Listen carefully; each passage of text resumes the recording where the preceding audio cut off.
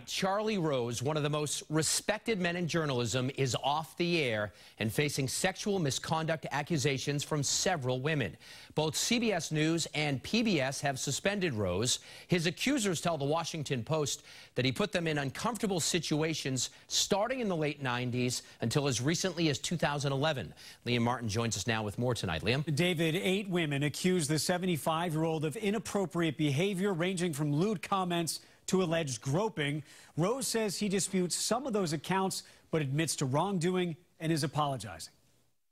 The eight women, according to the Washington Post, were either employees of the Charlie Rose Show from the late 1990s to 2011 or aspired to work for him.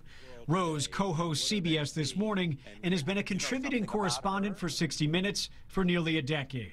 The Bureau is also expanding its presence overseas. To... The women who spoke to the Post worked for Charlie Rose Inc., not CBS or PBS.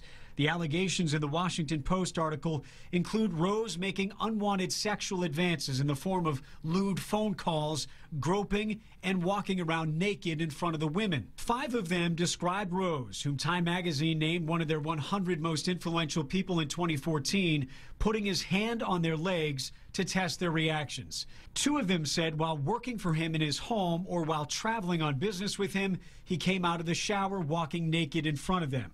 Rose told the Post in a statement, quote, I deeply apologize for my inappropriate behavior. I am greatly embarrassed.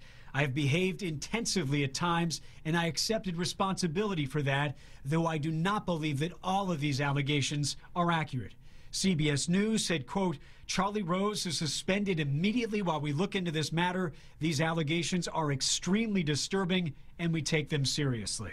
Now, the accusations against Rose come as a second woman now claims that Minnesota Senator Al Franken inappropriately touched her, allegedly grabbing her behind during a photo. Lisa? Liam, thank you.